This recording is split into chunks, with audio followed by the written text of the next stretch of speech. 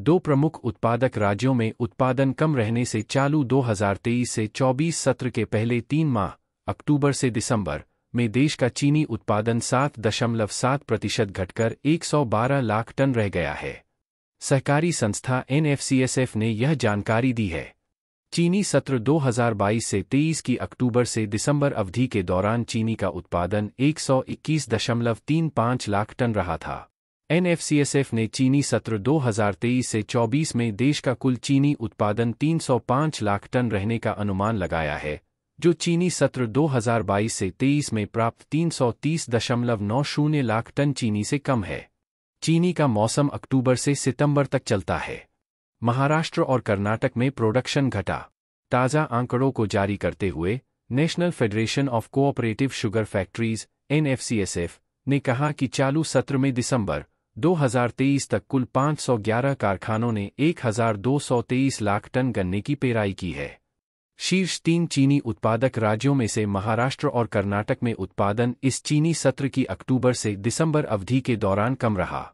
NFCSF के अध्यक्ष जयप्रकाश दांडेगांवकर ने कहा, चूँकि केंद्र सरकार ने गन्ने के रस से एथनॉल का उत्पादन सीमित कर दिया है इसलिए देश में स्थानीय खपत के लिए नई चीनी की कुल उपलब्धता 305 लाख टन होने की उम्मीद है। एनएफसीएसएफ के आंकड़ों के अनुसार, देश के शीर्ष चीनी उत्पादक राज्य महाराष्ट्र में चीनी उत्पादन 2023 से 24 सत्र के दिसंबर तक कम यानी अड़तीस दशमलव दो शून्य लाख टन था, जबकि एक साल पहले की समान अवधि में यह मात्रा सैंतालीस दशमलव चार शून्य लाख टन थी।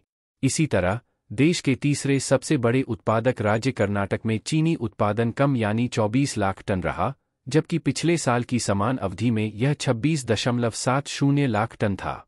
हालाँकि, देश के दूसरे सबसे बड़े चीनी उत्पादक राज्य उत्तर प्रदेश में इस सत्र में दिसंबर तक चौंतीस दशमलव छह पाँच लाख टन से अधिक चीनी का उत्पादन हुआ, जबकि एक साल पहले की समान अवधि में यह तीस दशमलव आठ शून्य लाख टन ही था। एनएफसीएसएफ ने कहा कि देश में औसत चीनी प्राप्ति का स्तर नौ दशमलव एक सात प्रतिशत है और जैसे जैसे सर्दी बढ़ेगी, चीनी की पैदावार उसी के अनुरूप बढ़ने की उम्मीद है। इसमें कहा गया है कि सत्र के अंत तक उत्तर प्रदेश में 115 लाख टन, महाराष्ट्र में 90 लाख टन, कर्नाटक में 42 लाख टन, तमिलनाडु में 12 लाख टन और गुजरात में 10 लाख टन चीनी का उत्पादन होने की उम्मीद है। एनएफसीएसएफ के प्रबंध निदेशक प्रकाश नाइकनवरे ने कहा कि एथनॉल उत्पादन पर मौजूदा प्रतिबंध में कुछ हद तक ढील दी जा सकती है, क्योंकि सत्र की शुरुआत में अनुमानित 290 लाख टन चीनी उत्पादन में लगभग 15 लाख टन की वृद्धि होने की उम्मीद है। उन्होंने कहा कि एनएफसीएसएफ और भारतीय चीनी मिल संघ इसमा संयुक्त रूप से केंद्र सरकार के साथ इस मुद्दे को उठाएँगे।